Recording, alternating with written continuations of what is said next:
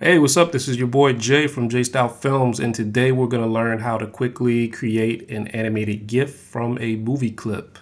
So let's jump right into this. I've opened up my project. I have a couple of clips that I can choose from. We're going to use this dancing guy. I've already chosen my in and out points. This is what the clip looks like. Just a dude doing some weird dance.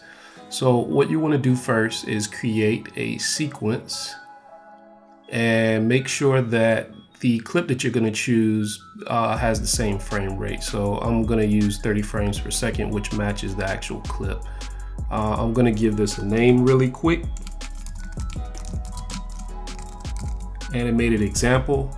And we're going to go up to settings and I'm just going to resize this to be 400 by 400.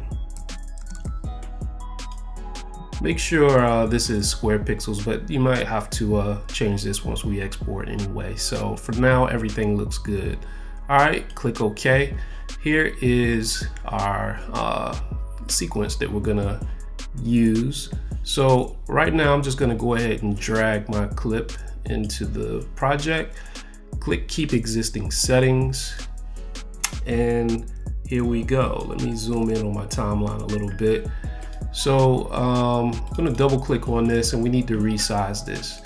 So go to the effects control and I'm gonna scale this down because this was a HD clip.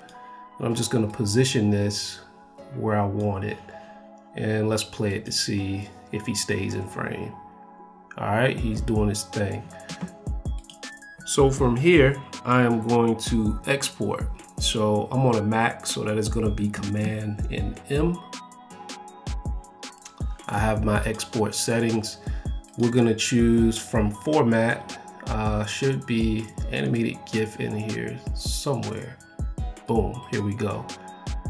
All right, I have match source and let's find the settings. This all looks good. So we've got the frame rate. I'm gonna keep progressive square pixels and it's got my size and everything in place. So from here, I'm just gonna export this.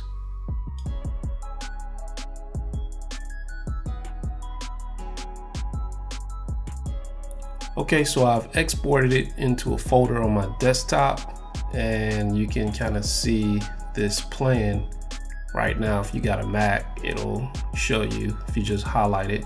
But if I want to show this in a browser I can just go up here and go to Safari and boom plays in the browser.